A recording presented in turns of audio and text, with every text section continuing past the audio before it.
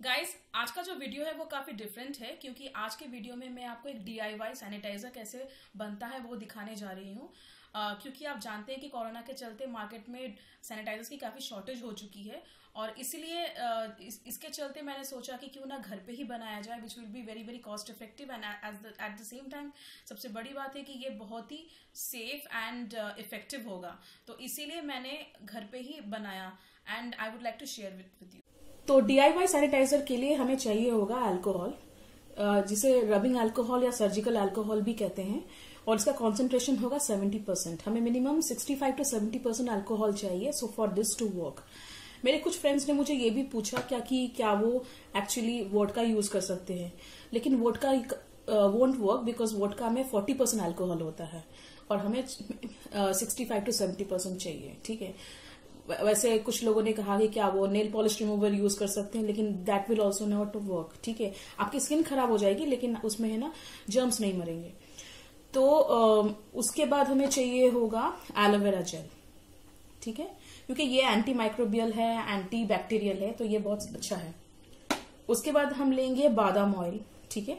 So a few drops of almond oil pure almond oil पाँच से छह drops would be enough अगर आपके पास आमंड ऑयल नहीं है इन दैट केस आप क्या कर सकते हैं? आप विटामिन ई कैप्सूल्स ले सकते हैं ये किसी भी फार्मेसी के स्टोर में उपलब्ध है। और जो नेक्स्ट चीज़ मैं लूँगी वो है टी ट्री ऑयल ये टी ट्री ऑयल भी अच्छी चीज़ है ये एंटी माइक्रोबियल है एंटी फंगल है एंड uh, ये भी काफ़ी अच्छी चीज़ है जो स्किन प्रोडक्ट्स में uh, और हेयर केयर प्रोडक्ट्स में रहती है। ठीक है, ये ऑप्शनल है। आप चाहे तो यूज़ कर सकते हैं, मेरे पास थी तो मैं इसे यूज़ कर रही हूँ। और उसके बाद हमें चाहिए होगा एक खाली स्प्रे बॉटल ठीक है, ये मेरे पास सिरम थी, इसमें हेयर सिरम था और जो कि एमटीज में है अभी, ये एमटी हो गया है तो अभी मैं क्या करूँगी, इसमें मिक्सचर बनाकर इसमें मैं फिल करूँगी। और it has a nozzle also जिससे कि स्प्रे करने में आसानी हो।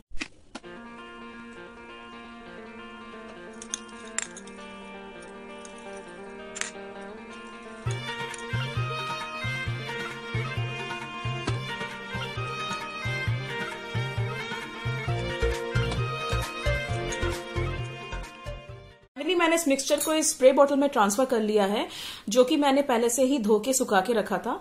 एंड इस, इसमें नोजल है तो इसीलिए स्प्रे करने के लिए काफ़ी आसान है। एंड हम देख रहे हैं कि इजीली हमारा जो हाथ है हम इसे सैनिटाइज कर सकते हैं।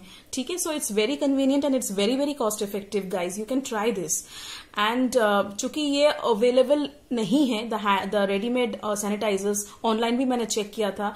स्पेशली जो ट्रस्टेड ब्रांड्स है वो तो बिल्कुल ही अवेलेबल नहीं है। और लोकल ब्रांड्स में मैं भरोसा भरोसा नहीं करती। इसलिए I thought of preparing a sanitiser myself I hope this video was useful to you if you like this video please do not forget to give it a like and share and अगर आपने मेरा video subscribe नहीं किया है please do subscribe thank you very much have a great day head